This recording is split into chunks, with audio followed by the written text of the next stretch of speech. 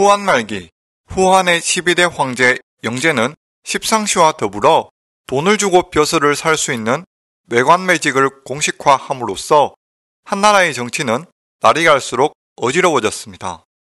조정에서는 백성들의 삶에 큰 관심을 두지 않아 자연재해와 기근을 대비하는데도 소홀히 하여 각지에서는 농민들이 모여 반란을 일으켰습니다.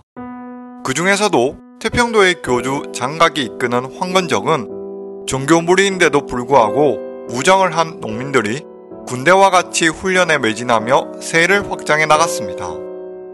교주 장각은 젊은 시절 글공부에 뜻이 있었지만 귀족 집안의 자제도 아니었고 아울러 관직을 얻기 위한 주변의 자신을 추천해 줄 사람도 없었습니다. 출사의 꿈을 접은 장각은 어린 동생들을 돌보며 이른 나이부터 짐을 나르거나 장사를 도우며 생업에 종사했습니다. 힘든 일에 종사하는 장각은 백성들을 바라보며 이들의 가난과 고통을 어떻게 하면 줄일 수 있을까 고민했습니다. 그러던 중 우연히 태평 청령서라는 책을 접했는데 병을 고치고 몸에서 사악한 기운을 몰아내는 등의 내용이 담겨 있어 장각은 이 책을 통해 무언가 세상을 바꿀 수도 있다고 생각했습니다.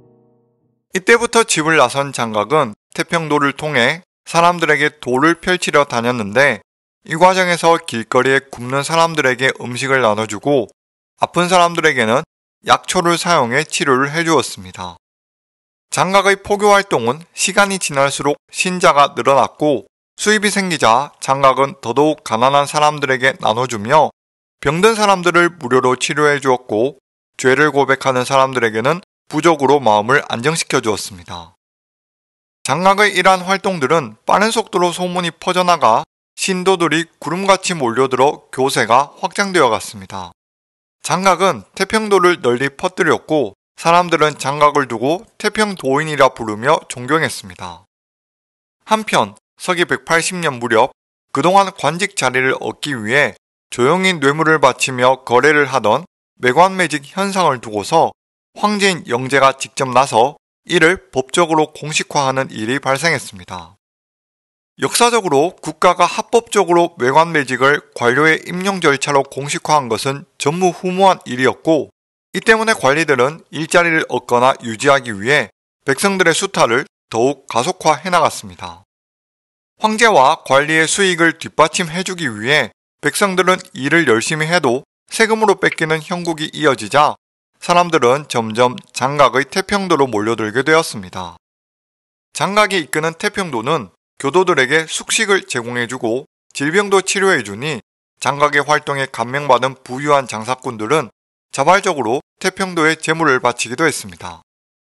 태평도에 입문한 신도들은 진심으로 장각을 믿고 의지했으며 어느새 장각은 대혈량사로 높이 불리게 되었습니다. 그리고 사람들은 점점 장각을 신격화해 나갔습니다.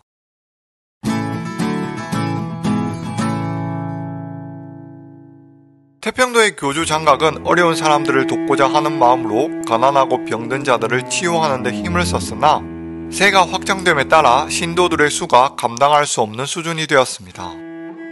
수십만에 넘는 신도들이 모여 장각을 추종하고 그와 동시에 황실에 대한 원망이 커지다 보니 조정에서는 태평도에 대한 불편한 시각이 나타나기 시작했습니다. 사도 양사는 태평도의 세가 늘어가고 있는 상황이 신경 쓰여 영제에게 교주 장각을 잡아들여야 한다고 설득했습니다. 그리고 사도연 유도는 한층 더 공격적으로 장각을 포함한 주도하는 무리들을 모두 처벌해야 한다고 했습니다. 이에 영제는 태평도 무리에 대해서는 별일이 아니라 여겨 일단 그대로 두었지만 조정의 대신들과 지방에서 직접 태평도의 무리를 접하는 관원들은 점점 태평도의 세력이 커지는 것에 불안감을 감추지 못했습니다. 이 때문에 장각의 동생들인 장보와 장량은 왜 우리가 비난을 받아야 하는지 화가 났고 심지어는 조정에서 태평도의 우두머리들을 잡아야 한다는 소문까지 들은지라 이참에 난을 일으켜야 한다고 주장했습니다.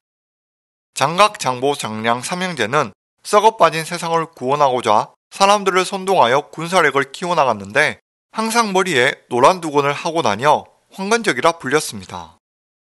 황건적의 난은 중국사 사상 최초로 종교 집단이 일으킨 봉기로 이들의 구호는 삼국지 이야기의 초반을 장식했습니다.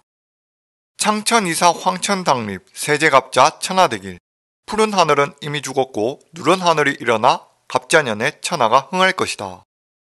장각은 본래 난을 일으킬 생각까지는 없었고 자신의 동생들인 장보, 장량이 봉기를 재촉하는 데 있어서는 개인적인 욕망이 있다는 것도 가늠할 수 있었습니다. 그리고 장각은 늙고 병들었기 때문에 자신의 사후 동생들이 권력을 차지하고자 하는 것도 생각했습니다. 결국 황건적인 난을 일으킨다면 실패했을 때 많은 신도들이 전장에서 목숨을 잃을 것이며 성공하더라도 또 다른 부정부패가 발생하리라 여겼지만 이제는 태평도 교단에 너무 많은 사람들과 재물이 모였고 장각은 이들의 말에 따라 개벽을 일으키기로 결심합니다. 장각은 황건적인 난을 성공적으로 일으키기 위해 미리 조정과 내통하는 창구로 마원이를 심어두었습니다. 마원이는 십상시 중 한 명인 봉소와 서봉에게 접근하여 뇌물을 바치는 데 성공, 빛 낙양에서 반란을 일으킬 준비를 마쳤습니다. 장각은 자신이 신용하고 있는 제자인 당주를 불러 낙양으로 가서 마원이가 내통을 잘하고 있는지 그리고 자신들이 난을 일으켰을 때 낙양 내에서도 질서를 무너뜨릴 수 있는지 검토하라고 시켰습니다. 황건적인 난을 일으키는 시작일은 3월 5일 형주, 양주 일대에 수만 명을 모아 북상하여 기주에서 봉기할 계획으로 당주는 봉수와 서봉에게 날짜를 전달하기로 합니다.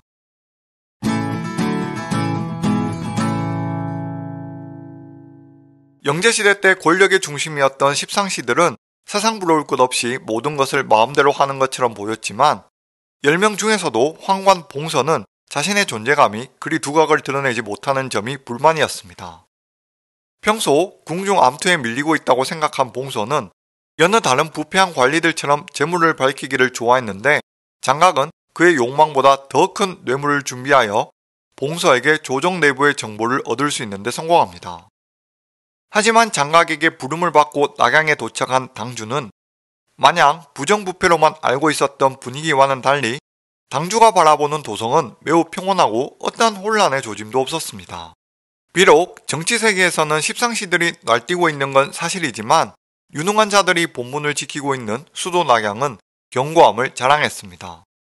낙양은 황화의 지류인 낙수가 남쪽으로 흘러 이름이 붙여졌으며 사방이 평야였기 때문에 농업 생산력이 뛰어나 고대 사회에서도 식량 수급에 걱정이 없는 환경을 갖추고 있었습니다. 또한 도시와 평원을 둘러싼 산악지대가 원형의 성벽처럼 둘러싸고 있어 군사 방어력도 뛰어났습니다. 도성과 황성을 지키는 정예병들은 번쩍이는 갑주를 입고 있었으며 멀리까지 명성이 자자한 황보숭, 주준, 노식, 동탁과 같은 명장들도 수도를 지키는데 부족함이 없었습니다. 게다가 신의 장수로 떠오르는 원소, 조조와 같이 소문난 장수들도 여럿 있어 망조의 조짐은 보이지 않았습니다. 당주는 황건적 무리가 마원이를 심어 놓았다고는 하지만 십상시 내에서 봉서의 입지는 보잘것없이 여겨졌습니다. 봉서는 자신이 십상시에서 더 좋은 위치를 갖고자 황건적을 이용하고자 했지만 그의 계획은 터무니없이 보였습니다. 결국 낙양을 둘러보며 여러 정황을 가늠해본 당주는 현실적으로 황건적이 세상을 뒤집기에는 역부족이라 판단하여 마원이를 찾아가지 않고 궁으로 달려가 황건적이 조정을 탈취할 계획을 갖고 있다고 고발했습니다. 당주의 상서를 받은 영재는 주요 인사들을 급히 소집하고 관원들을 동원하여 낙양에 거주하는 백성들을 추려내어 장각의 교도 천여 명을 색출해 처형했습니다.